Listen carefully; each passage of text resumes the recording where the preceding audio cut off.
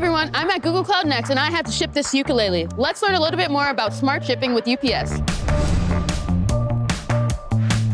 Hello, good morning. Hi. I have this bit of a weird package I need to ship. Do you think you could help me out? Yes. No matter the size, we're going to make it smart. Cool. Let's go ship it. Perfect. Done. There's your label. Yay, perfect. Come with me. We'll show you the journey of your package. Thank you.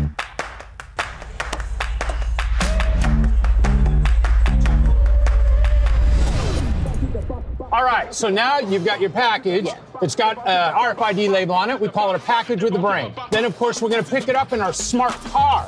So now you see these sensors up here. here. Is the package moves onto the car. The car is automatically sensing your package getting onto the car. Got it. Okay, great. Gives you confidence, gives you real-time data about all your ukuleles. Maybe you ship one today and a 100 tomorrow. All of them moving on the car, car sensing them. So now we're going to move here. into our smart hub. And this is really the heartbeat of the operation. So same scenario here. As your ukulele starts moving through our network, what's happening is these next generation sensors are picking it up, giving you real-time information back to you on the status of your package. Gotcha. Thank you so much for the explanation. I feel very safe about my package. That's definitely going to get there.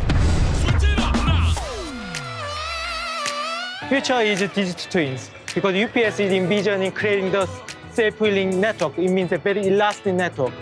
We are creating the virtual simulations, and using the simulations, we want to identify upcoming bottlenecks and then provide the mitigation actions. Love that. Okay, very interesting. So let's see an example of digital twin. Maybe like if there's a big power outage, that happens sometimes. If there is a power outage happens, right, we cannot use this uh, Jacksonville hub. Okay. In this case, our digital twin automatically provide uh, uh, mitigation actions, how we can move the volumes, so that we can safely deliver our packages to our customers.